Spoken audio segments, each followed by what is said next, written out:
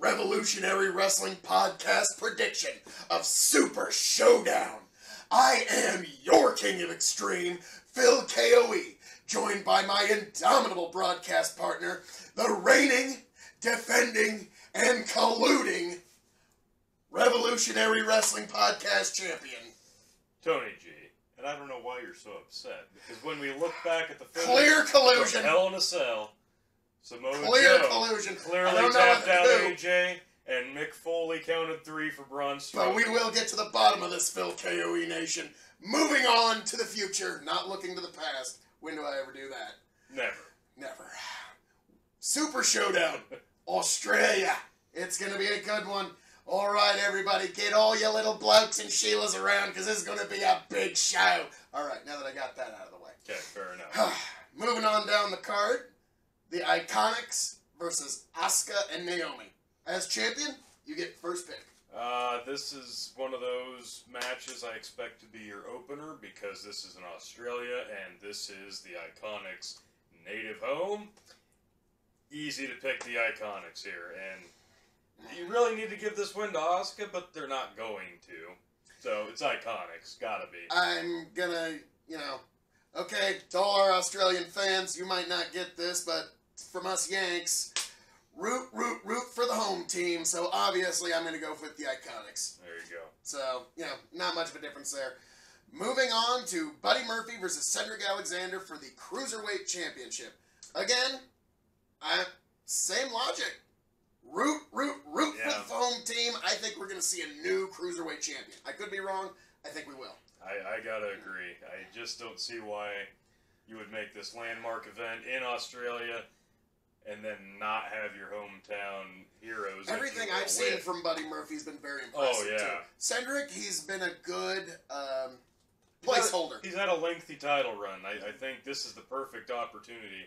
And you know they got to have one title. He has change. made himself a legitimate champion. Yeah. So going forward, him versus Buddy Murphy in rematches or Sure. what have you, will actually bring a little bit of attention. You got to expect at least one title change on this show. Pardon me, folks. The wonders of harvest. This is an easy one to do. I gotta, I gotta agree. Buddy Murphy wins the cruiserweight title. Yep. All right. Now this one, this one's going to be really tough, Tony. This one, Okay. I am really torn. I mean, this one could really go either way. John Cena and Bobby Lashley versus Kevin Owens and Yeah. Elias. I mean, we know the undefeated streak Elias has been on as of late. Is he? When was the last time Elias got a, a match? I mean, a real match But, uh, with a finish. when, when does that matter? when does that Yeah. matter? So, I got uh, Cena's gonna pick up a quick win and be back on his plane to do his movie. So, Uh, yeah, I think just because this is one of those super house show cards, you're paying to see the likes of John Cena. You're getting him this dream, I guess, matchup of him and Lashley. I will say what this will accomplish is in some way it will further Kevin Owens versus Bobby Lashley. I don't know how. Kind of. Uh, well, even if it's a post-match brawl, Sure. whatever. I, I see this. A, it's a vehicle for John Cena to hit an attitude adjustment on somebody, get a one, two, three in Australia, and it Yep. goes yay. Yep. And then beyond that, That's, I see this as a way to further that vehicle of Kevin Owens and Bobby Lashley, which is actually starting to compel But that makes one of us. I feel sorry for Kevin Owens because this is not a ideal situation for him. Making the best of it as always, though. he can get the big man over with the best. Him There you go. and Sammy, it's they're sublime at it. But all right, moving on down the card. The Bellas and Ronda versus the Riot Squad. You want to just do this one on three? One, two, three. Bellas and Ronda. Boy, that was- that was tough. Ah, That- that, you ah. know. A lot of discrepancy here between our picks so far. Armbar? You think it's gonna be an armbar? I golly, I, I think it might be an armbar. Yep. all right. I think Ruby might get the armbar here. All right. Here's the one that it might actually come down to. Number one contendership for the WWE Championship. The Miz, Daniel Bryan. As champion, I'm going to give you the first pick. This is uh, one of those wild card matches on a very Could go either predictable way. card because It Since gives it's not- compelling stories. yeah, since it's not for a title, but it does have title implications, you could go either way on this. Logic says with the 50-50 booking that this should be Daniel Bryan's win here because Miz won the first singles match. he and Maryse won the tag mixed tag match. Eh, I mean, yeah. ish. So, with 50 50 booking, that would tell you Daniel Bryan wins here. But my thoughts on the long term storytelling for this feud are that this might culminate a lot further down the road. And how do you do that? You make Miz the number one contender here. I gotta pick the Miz. You pick the man who came to play. I- That was your pick. That's my pick. My pick. pick is the man who will.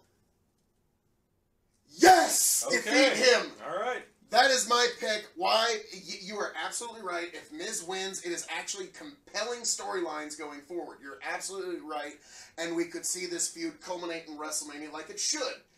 That being said, I really think a good, happy, yes, yes, yes chant win going Sure. through all of Australia, they can fix that booking Sure. later. And I think um, Sure. putting Daniel Bryan and AJ in the ring, they should do that at Survivor Series or maybe at SmackDown 1000 as far as I'm concerned. Yeah, I, I was gonna say because it, if you make Daniel Bryan the number one contender, regardless of who wins the WWE title match later on that night, you've got Joe versus Great Bryan match. or AJ versus Bryan. That's terrific. You can put that on So, Crown Jewel, this and whole- both matches are good. It could all come down to this match. I'm rooting for you, Danny. I'm rooting for you. I, I almost picked him too. That was a coin flipper, but Yeah, I got to and, go with the Miz. And again, that's one that if I lose it, I'm really not even that upset about it because the Miz being Yeah. number one contender is compelling. I could go either way. I wouldn't So- be upset either way that pans out. The next match. It's a new day versus the bar. Who you got on this? Got to pick the bar, right? Mm, No, this is gonna be a New Day win all the way. You know they're gonna love the New Day in Australia. Come on, it's got to be the New Day. Come on. I am like this is one I'm actually torn on. Oh, it's it's a New I Day could win. see see all the bar taking it, Then pick 'em. but Then pick them.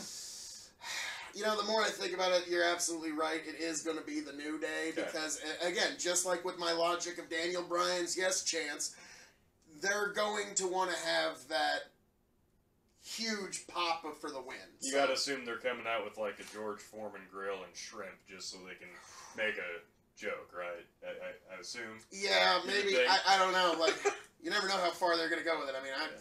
they could bring up Paul Hogan himself. I They don't even know. I They mean, could. that's ha got that reference in. Ha! Okay.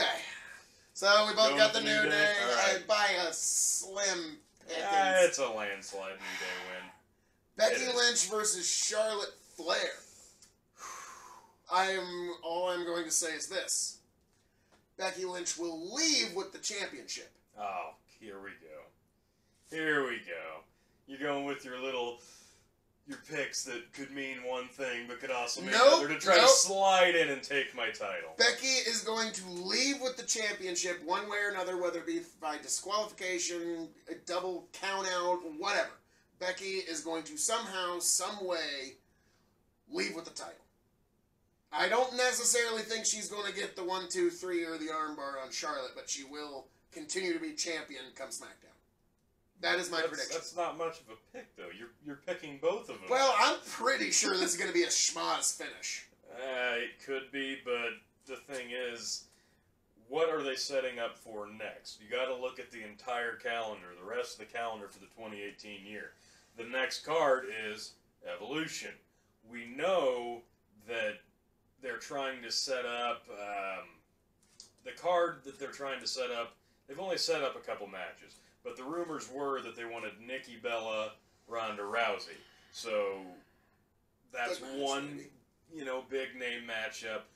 Who's going to be the bigger name for the SmackDown side of it? Is it Charlotte? Is it Becky? Well, right now, Becky's about as white hot as it gets. Like, they're cheering Becky, even though she's supposed to be the heel, way over Charlotte. And I think both of the gals are kind of embracing Despite it. the way she's been booked, not because of the way she's been Exactly. booked.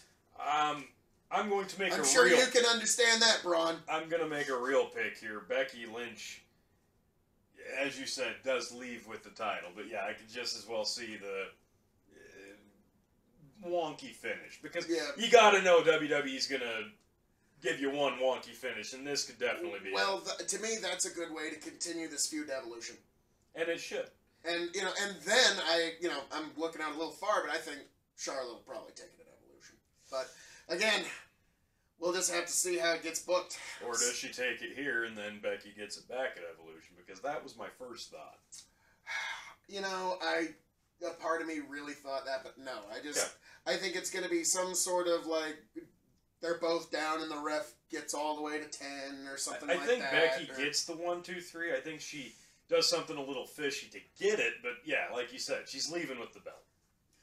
Well, we might come back to that later. So, moving right along to the WWE Championship against Samoan Joe.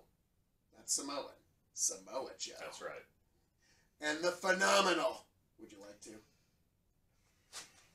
AJ Styles! I have learned for a long time don't bet against AJ. I got AJ walking away with We've got. AJ. I got Clean. AJ. Okay. Clean. I uh, I did go out on a limb a bit to pick Joe on the last There's some rumors that are saying it's going to be a double KO. I think no way. It's going to be clean. No, this this one will be a clean finish, regardless of who wins. This is going to be a clean finish. Uh, I think they learned their lessons from the last several feuds that they made AJ go through a bunch of weird finishes in Kevin Owens, Nakamura, and they've already done two back to back DQ to a ooh cloudy who really won the last one finish.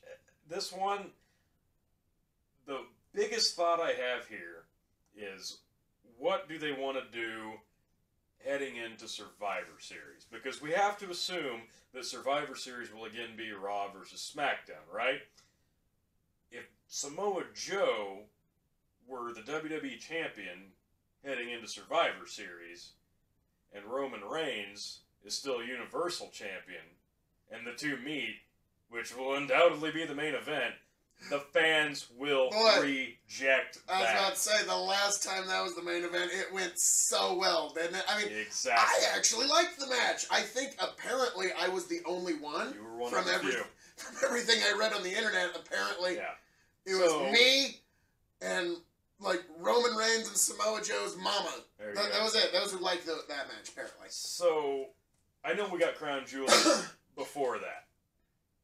I, I'd love to see Samoa Joe take the win here, just to kind of mix the feud up and see AJ get it back at Crown Jewel. I think that would be the better way to book this. I think you get much more long term sustainability out of it by having it change a little bit. It adds a little flair, and this has been booked to perfection. Loving the feud. All that said, yeah, I got to go with AJ. I was really like, oh come on, come on, go with Joe. I got to go with AJ. AJ's again. on the cover of 2K19. They're not taking it off of him at least until TLC because Survivor Series is basically the big 2K advertisement pay per view. Right. So moving on down the line, and no, you're you're wrong with your orders there. So the main event is not how you put it. So Yeah. well, the next match we will predict: the Shield versus Zig World Order. I don't care what they call it. You can call it the Dogs of War. It's the Zig World Order. Okay, fine. So who you got in this, champ? Uh, well, this will actually be the main event. Pretty sure. Nope. I don't want to see it as a main event any more than no. you do. No.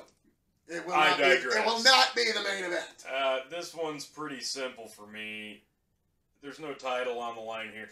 Mind you, the IC, Universal, and Raw tag belts are all involved in this match, so none of them can be on the line on this card. No title implications.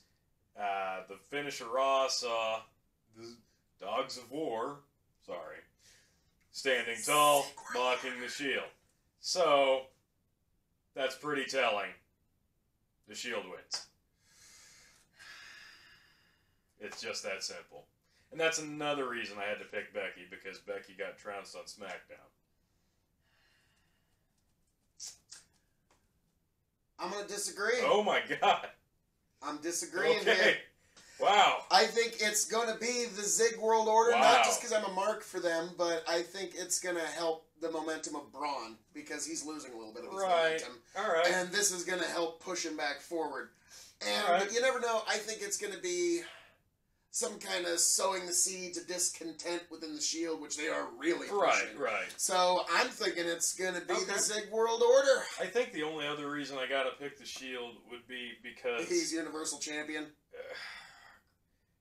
Plus it'll be the main event. But no!